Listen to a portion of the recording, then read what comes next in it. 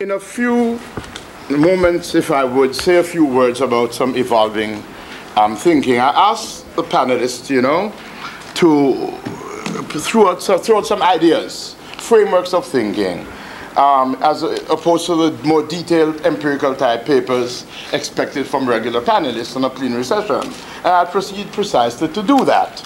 Um, I want to address very briefly some issues and challenges relating to the African Caribbean relationship within the context of third worldism on the one hand, and as was not said in the title, Pan Africanism on the other.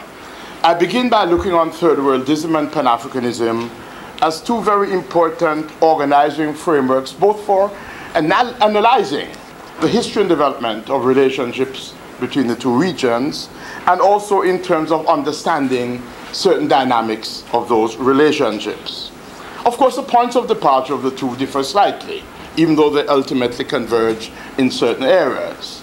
To analyze the third world connection is essentially to look on political economic relationships, whereas to analyze the Pan African relationship is to look essentially on political racial and to some extent political cultural relationships.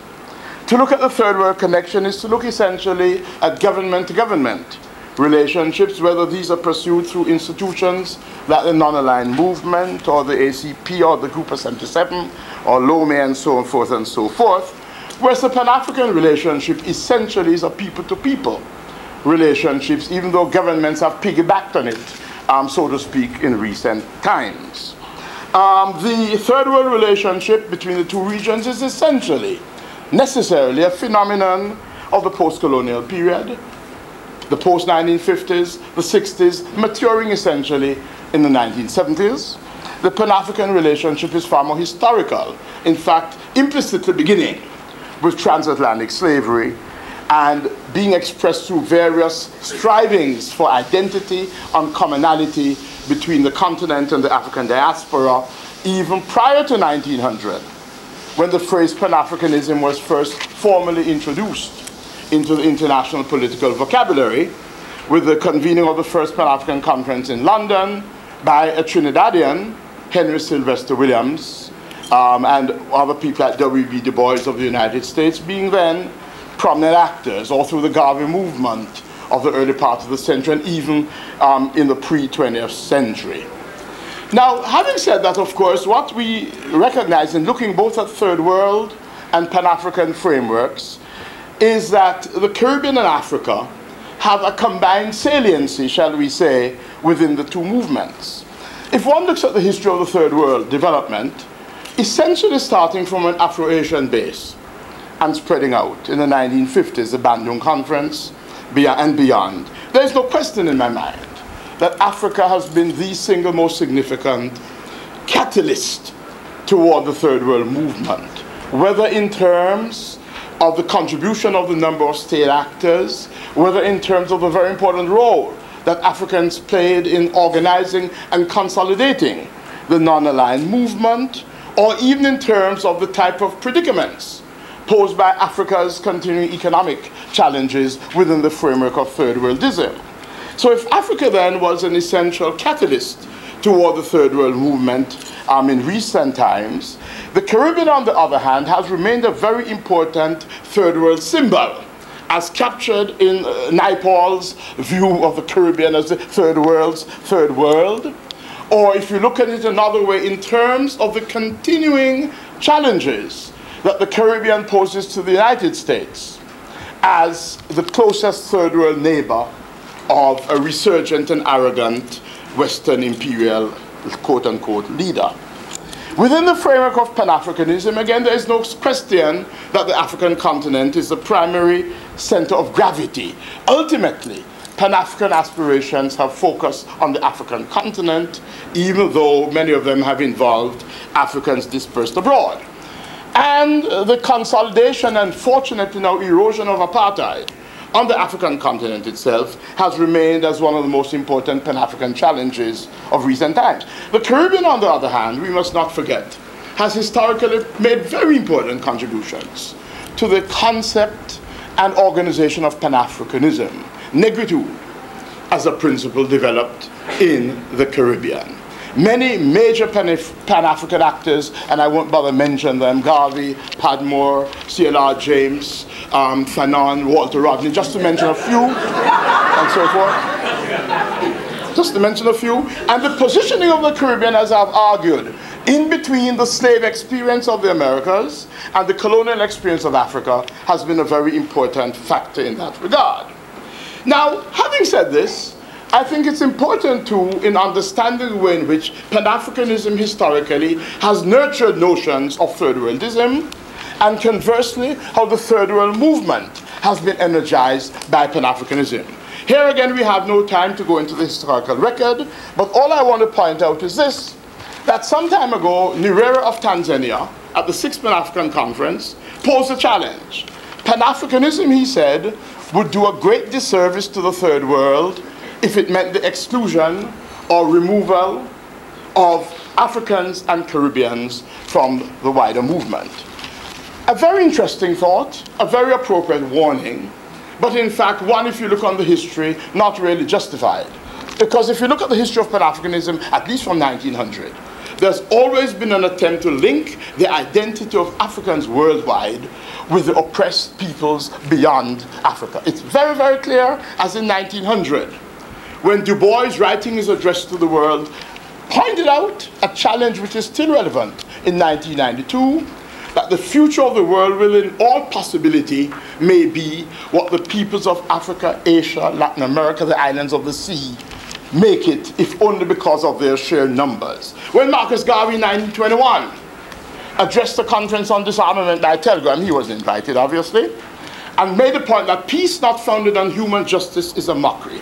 That too was another statement linking a Pan African sentiment and sensitivity to a wider third world um, predicament. If we look more recently in a paper I've done for the UNESCO General History of Africa, the way in which African and Caribbean ties within the third world were nurtured by Pan Africanism and vice versa, these make the point that I'm getting at. Now, it is true that in today's world, Third worldism and Pan Africanism are facing many frustrations. And that at the subjective level, it has become somewhat more difficult in the 1990s to organize these notions than they were in the 1960s and 1970s. And yet, objectively, the conditions which produce third world and Pan African sentiments still remain unabated. We do know, of course, that with the removal of the East West conflict, it means on the one hand that the north-south thing may seemingly be more marginalized, but it in fact becomes more important because it still remains the most significant and the only remaining global challenge today at a real global level. It is also true that with the removal of the east-west confrontational dimension, um, the uh, sensitivity, if there was one, to economic aid and development has appropriately declined and resources being shifted into Eastern Europe.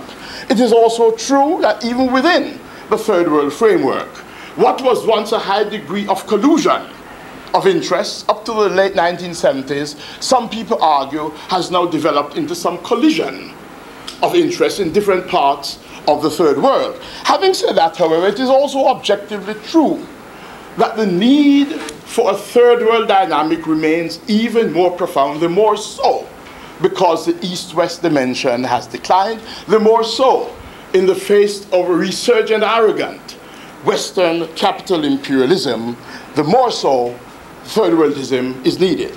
Now, what of Pan Africanism? Interestingly enough, one of the main bonds which cemented a wider African world settlement, apartheid, is now being eroded. So from that point of view, the continued erosion of apartheid has weakened some of the pragmatic links for African world interest world. And on the other hand, the removal of apartheid, fortunately, can promote a greater sense of continental African Pan-Africanism with the removal of a destabilizing white racist regime, which was a great threat to any attempt at regional cooperation in Africa. Now, having said that, however, there is at least one, if not two levels at which the Pan-African notions become even more important in the 1990s. One has to do with the resurgence of what I like to call primitive racism. With all the formal attempts to remove racism in certain racist environments, the reality of racism, not least anti black, remains a reality. We it in the Rodney King case, a reminder.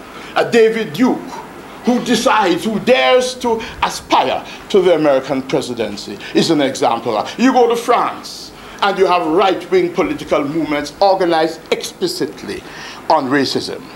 What is worse is that with the decline, so to speak, of Africa in the world system, this has, as many people argued, helped further to promote images of racial incompetence, not aided by the AIDS epidemic, not aided by economic underdevelopment, not aided by some of the difficulties of a transition to democratic systems. Then there's the question of migration, where the racist factor always works itself out.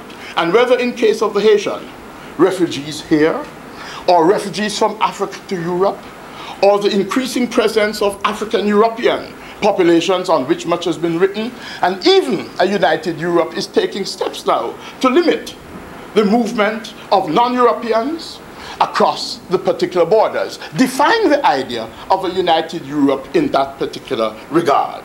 So therefore, there is all the more reason why in this so-called New World Order, the question of racial stratification and sensitivities has to remain high on the Pan-African agenda. I make two concluding thoughts in terms of thinking.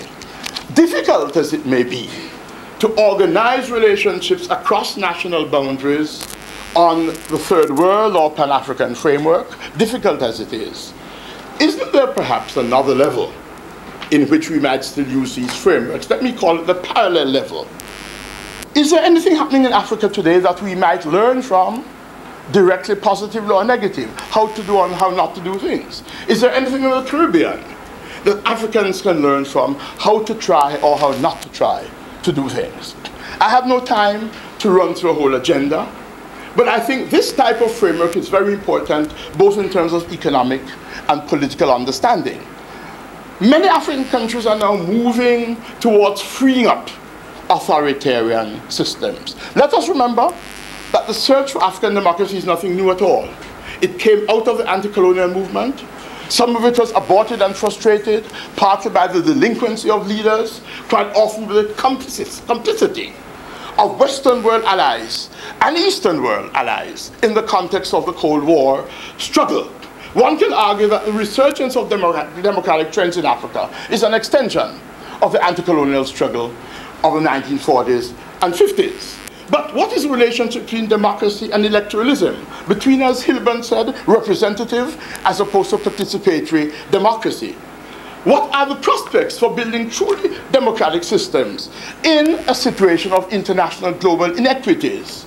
What are the difficulties of building truly participatory systems when, given the increasing constraints of federal environments in the international economic system, the government sooner or later have to become more repressive against the legitimate interests of the people? These are some questions, therefore, we have to ask. What prospects are there for mobilizing different groups. What about the mobilization of women in both areas? African women are now very much on the march, as are women in the Caribbean.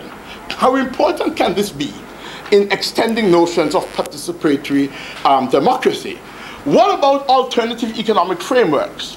Where the African countries have brought forth the African Alternative Framework, which has helped to modify some thinking of the World Bank. Might Caribbean economic planners learn something from that particular African experience?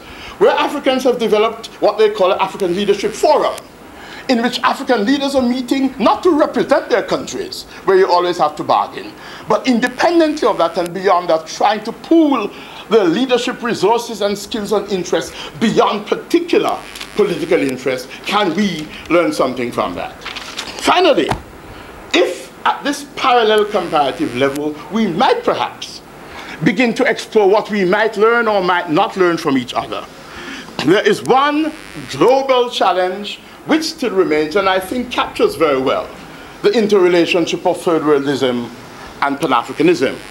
This is the concept of global apartheid. Back in the 1970s or early 80s, a Canadian threw up this idea. The division of the world, he pointed out, parallels so much the divisions in apartheid society. The difference between the rich and the poor, the unfortunate coincidence along lines of color and nationality. This whole principle of global apartheid, which is a continuing reality in today's world, is what I think that notions of federalism and Pan-Africanism can still be called on to challenge.